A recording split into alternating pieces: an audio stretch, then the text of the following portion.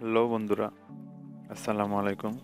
আমি Mizan Android tips Bangla শিক্ষণ চ্যানেলের পক্ষ থেকে আপনাদের সবাইকে স্বাগতম এবং আন্তরিক শুভেচ্ছা।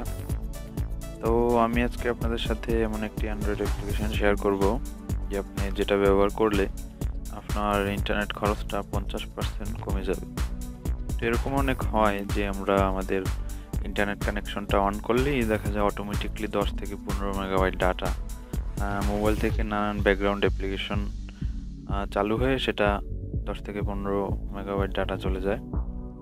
তো এখন আমি আপনাদের এমন একটি অ্যান্ড্রয়েড অ্যাপ্লিকেশনের সাথে পরিচয় করিয়ে দিব, যে আপনারা যে সেটা ব্যবহার করলে আর ওইরকম ব্যাকগ্রাউন্ডে কোনো অ্যাপ্লিকেশন আপনার ডাটা কাটতে পারবে না। তো চলুন তাহলে শুরু করা যাক। প্রথমে আপনাদের প্লে স্টোর থেকে একটি অ্যাপ্লিকেশন ডাউনলোড করতে হবে। প্লে স্টোরে গিয়ে আপনাকে সার্চ করতে হবে।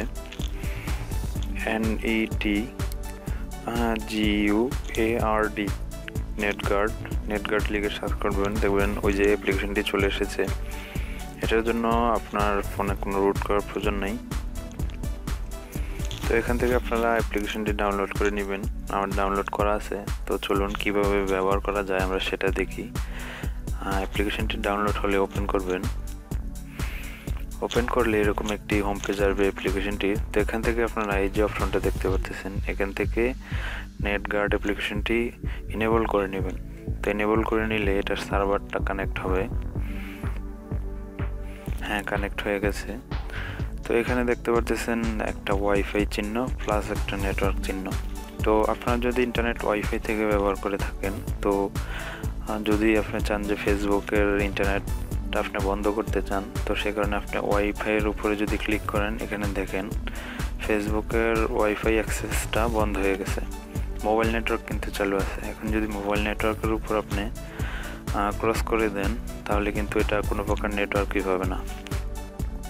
তো ধরেন ব্যাকগ্রাউন্ডে যেসব অ্যাপ্লিকেশনগুলো আপনার নেট কাটে, আপনি ওইগুলো এভাবে নেট কাটা বন্ধ করে দিবেন। তাহলে দেখবেন আপনার নেট খরচ প্রায় পঞ্চাশ পার্সেন্টের মতো কমে গেছে। তো আবার যদি চান যে আপনি এগুলা ব্যবহার করবেন, তো এখানে এসেই আবার ইয়েটা এনেবল করে এখান থেকে শুধু এগুলার থেকে এই যে যে ক্রস চিহ্নটা আছে এটা সরিয়ে দিবেন। তারপর আপনি ওই অ্যাপ্লিকেশনগুলোতে নেটওয়ার্ক পাবেন এবং নেট ব্যবহার করতে পারবেন। তো আশা করি অ্যাপ্লিকেশনটি আপনাদের উপকারে আসবে। আমার ভিডিওটি যদি আপনাদের ভালো লেগে থাকে ভিডিওটিতে একটি লাইক দিবেন এবং আমার চ্যানেলে সাবস্ক্রাইব করবেন। অ্যান্ড্রয়েড সম্পর্কিত উইন্ডোজ সম্পর্কিত বিভিন্ন আপডেট পেতে, বিভিন্ন টিক্স অ্যান্ড টিপস পেতে দয়া করে আমার চ্যানেলটি সাবস্ক্রাইব করবেন। এবং অ্যান্ড্রয়েড সম্পর্কিত কোনো কিছু যদি আপনার জানার থেকে থাকে আমাদের ভিডিওর কমেন্টে কমেন্ট করে জানাবেন। বা আপনার কোনো মতামত থাকলে মতামত আমাদের কমেন্টে জানাতে পারেন। পরবর্তী টিউটোরিয়ালে আবার দেখা হবে। সে পর্যন্ত সবাই ভালো থাকবেন সুস্থ থাকবেন। আল্লাহ হাফিজ।